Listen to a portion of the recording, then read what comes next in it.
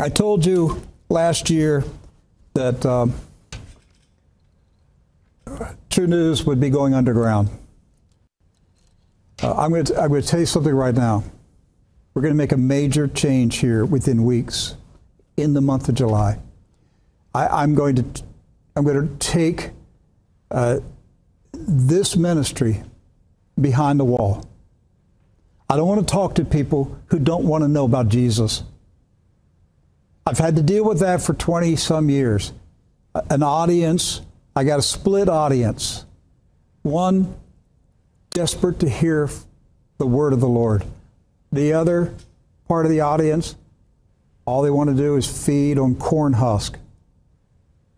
They, they just want news, news, news, more news. I, I'm going to tell you right now, within weeks, sometime in the month of July, we're shutting off the public stream. We're going dark as far as the public is concerned in the month of July.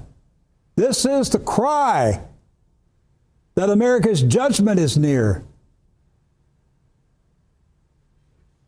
We will only speak to the body of Christ that desires, that has ears to hear. There's no point in me doing this day after day after day. What is the point of it? To sit here all day long and tell you how bad the Supreme Court is? The reprobates. What do you say after that? So we are going into an emergency mode. We're locking down.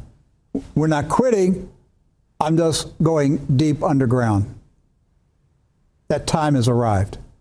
Those who want to stay with me with this ministry, we will give you instructions of how you can access this ministry every day. The rest, you're on your own.